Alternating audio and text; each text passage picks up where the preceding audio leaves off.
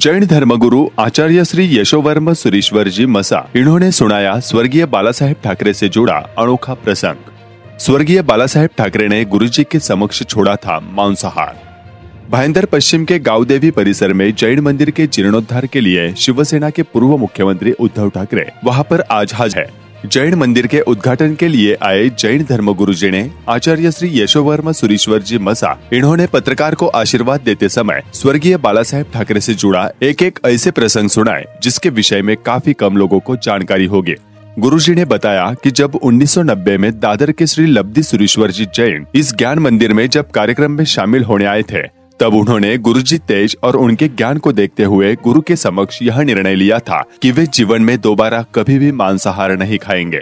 मला परवा नाही, कधी पण आल्यानंतर मला तुमच्या हृदयामध्ये स्थान असेल ना, बस, मेरी ज़िंदगी सफल होगी ज़िंदगी सफल होगी आणि म्हणून मी वंदन करतो, नम्रतापूर्वक वंदन करतो. आणि माणुसकी जी आहे, ती माणुसकी आपण जपत पुढे जाऊया. देश आपला आहे त्या देशात आपल्याला जर कोणी गुलाम बनवत असेल तरी गुलामी बनवणारी राजकारणाची राज राजनीती ती तोडून मोडून आपला आपली भारत माता मी आलो तर मला गाणं चालू होतं वंदे मातरम. ओ वंदे मातरम माता को वंदन करते हुए उस माता को गुलाम करने वाले लोगों से दूर रहो। इतनी एक प्रार्थना करता हूँ। धन्यवाद। जय हिंद जय महाराष्ट्र शायद उन्नीस सौ नब्बे। हाँ मुरली अपने जोशी जी उस समय विरोध पक्ष के नेता थे। और विशाखा राउत दिवाकर राउत वो शायद मेयर थी विशाखा राउत। और चंद्रिका केनिया आमदार थी ये वक्त है। और उस समय जब सभा चली तो फिर जब मैंने कहा कि आप कुछ बोलो तो बाला साहब ने खड़े होकर मराठी में दिया। मगर कोई आदमी बोलता हो बहुत कम आदमी बोल सके ऐसी उनकी स्पीच थी। उन्होंने बोला, बहुत बात बोली। फिर आखिर में उन्होंने एक बात बोली कि आज मैं आया आया, गुरु आपके चेहरे को देखा और मुझे होता है कि मैं आपको कुछ समर्पण करूँ अगर आप तो जैन साधु, न कपड़े लेंगे, न रोटी, कपड़ा तो आपको क्या करना है? न गाड़ी लेंगे, न प्लॉट लेंगे, न पैसे लेंगे। फिर सब छोड़ के बैठे हो आप। वो मुझे पता है, आप जैन साधु मगर मैं आज ऐसी कुछ चीज़ देना चाहता हूँ कि जिसको आप अवश्य लेंगे। तो मेरे मन में मैंने सोचा, मेरे खुद के मन की बात। ये बाल ठाकरे जी है।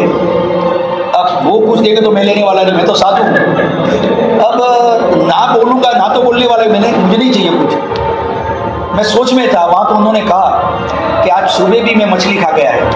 आज सुबह भी मैं मछली खा गया हूँ। मगर आपके चेहरे को देखकर आज ऐसा होता है कि गुरुदेव को कुछ समर्पण करूँ। तो बस आज के बाद जीवन भर के लिए आपके चरणों के अंदर एक गुरु के सामने समर्पण है।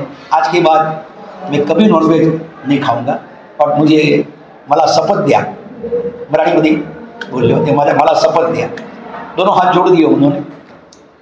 फिर मैंने कहा कि जोशी जी को कहा मैंने बोला जब आपके सुप्रीमो बॉस वे छोड़ते हैं तो आप कैसे खा सकते हो? सबको मैंने उनको बोला। तो फिर जोशी जी, अभी मैं पूरा करूँ, उसके पहले खड़े हो गए। थामा महाराज साहब थामा गुरुदेव थामा दिया मला दिया बोले, आप आठ दिन के लिए लो तो उन्होंने आठ दिन के लिए लिया।